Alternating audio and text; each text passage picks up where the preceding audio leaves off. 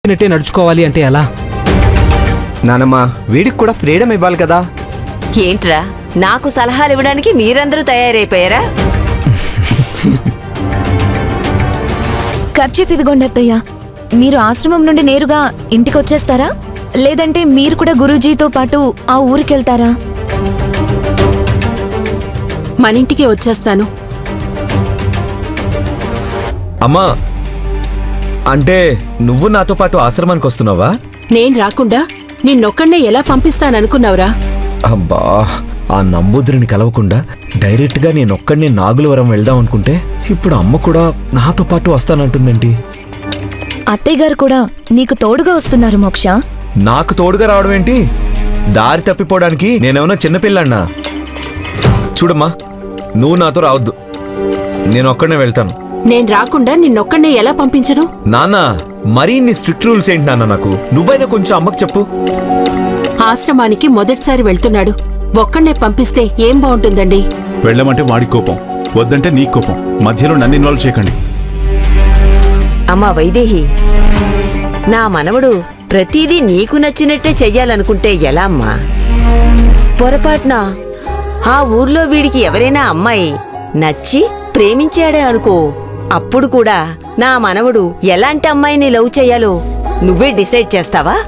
మీరేం మాట్లాడుతున్నారు అత్తయ్య? సడన్గా అమ్మాయిలు ప్రేమలు అంటున్నారేంటి? ఎందుకో అనాలనిపించిందమ్మా.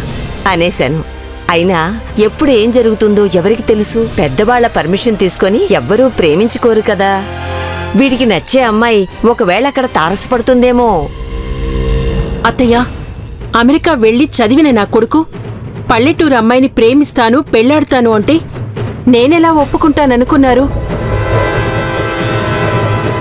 సరైన చదువు సంధ్యలు లేకుండా పిడకలు కొట్టుకుంటూ ముగ్గులేసుకునే అమ్మాయిలు నాకస్సలు నచ్చరు. అలాంటి వాళ్ళంటేనే డిస్కస్టింగ్ నాకు. అదేంటమ్మా? పల్లెటూళ్ళల్లో ఉండే వాళ్ళందరూ తెలివి తక్కువ వాళ్ళు అనుకుంటున్నావా తెలివైన వాళ్ళు చదువుకునే వాళ్ళు ఉండొచ్చేమో. కానీ ఒక పల్లెటూరు పిల్ల నా ఇంటికి కోడలిగా రావటానికి నేనస్సలు ఒప్పుకోను. నా కొడుక్కి బాగా చదువుకున్న గొప్పింటి అమ్మాయిని చాలా గొప్ప అందగత్తెని తీసుకొచ్చి పెళ్ళి చేస్తాను. అలాంటి అమ్మాయి నాకు కోడలిగా రావాలి.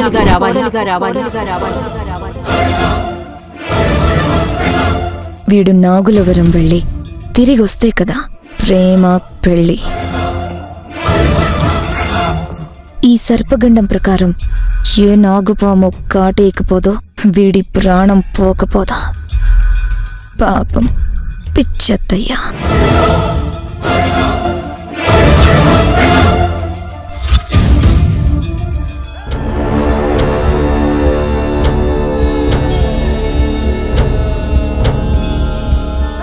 గురూజీ మీ ప్రయాణానికి కావలసిన ఏర్పాట్లు పూర్తి చేశాను.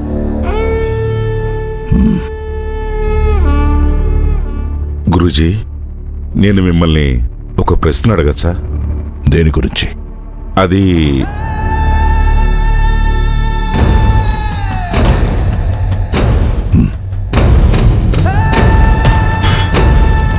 ఏంటి? ఏం లేదు గురూజీ.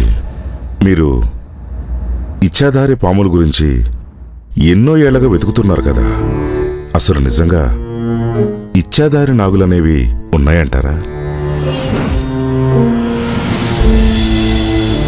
నాకైతే వాటి మీద నమ్మకం లేదు గురుజీ. ఒకప్పుడు మా గురువుగారు ఇచ్చాధారి నాగుల గురించి చెప్పేవారు.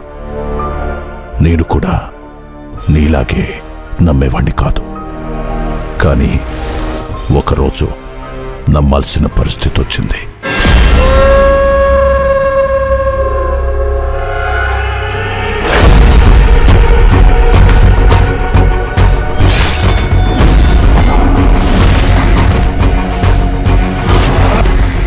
సరిగ్గా పద్దెనిమిదేళ్ళ క్రితం నేను ఇచ్చాధారి నాగుని చూశాను. చూశాను. చూసారా చూశాను. చూశాను. చూశాను.